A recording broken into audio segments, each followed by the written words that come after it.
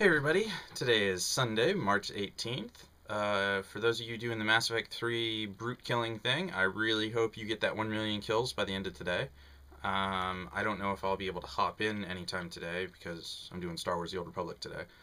Um, so the other day I did a What Would You Like to See video, and one of the things that someone recommended I do uh, were uh, how-to videos on things inside games and I have several ideas with that, or like what I want to do there.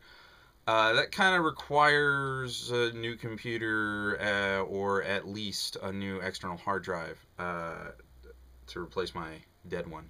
So uh, I'm looking at uh, sometime soon. I'll probably be able to get an external hard drive. They're not that expensive, um, but the pie in the sky is the new computer.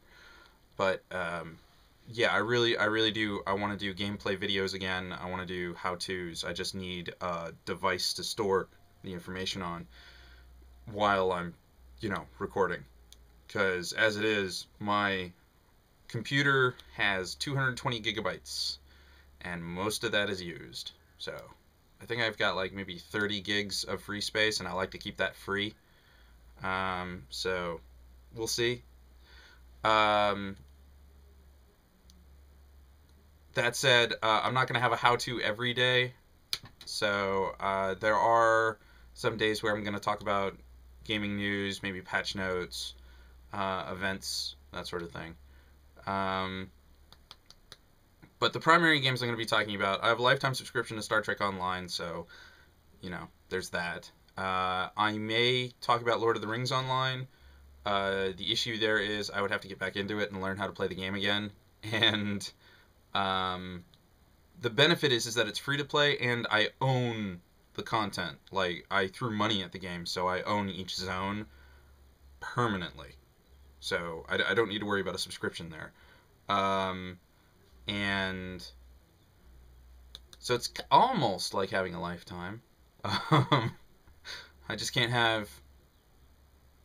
No, no, I got rid of the money cap too.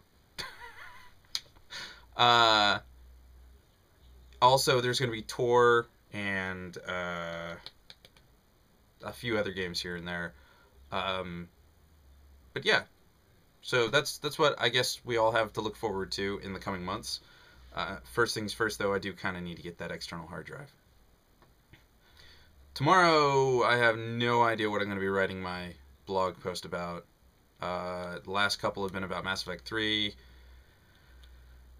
uh, might be on the virtues of having two tanks in a four-person group in Tor, being that it's not that virtuous.